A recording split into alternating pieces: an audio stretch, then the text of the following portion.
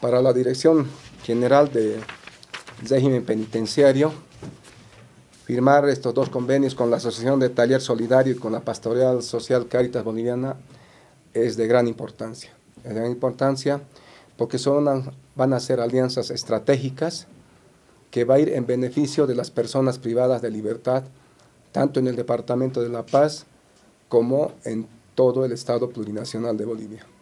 Esto porque van a ser varias acciones, acciones espirituales, acciones socioeducativas, acciones de formación personal, orientaciones jurídicas, van a ser este, acciones de desarrollo humano, que va a ir en beneficio de todas las personas privadas de libertad, más que todo para mejorar la calidad de vida de estas personas. Sí, que como ustedes conocen, sector de nuestros hermanos eh, que forman la sociedad nuestra boliviana y permanecen mm, privados de libertad, es un sector muy vulnerable y necesita mucha ayuda.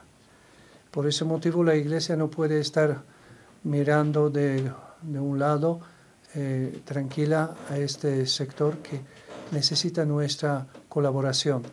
Por ese motivo, eh, gracias a Dios y gracias acá a nuestro director, hemos logrado de hacer, eh, hacer firmar convenio donde vamos a poder atender con más libertad también y con la ayuda justamente de todo el sector eh, que cuida eh, estos eh, regímenes penitenciarios. A toda, toda esta gente, hay muchas mujeres, también muchos varones que necesitan ayuda. Y tanto en sector espiritual como pastoral, social, jurídico, y apoyando también con distintos talleres y formación.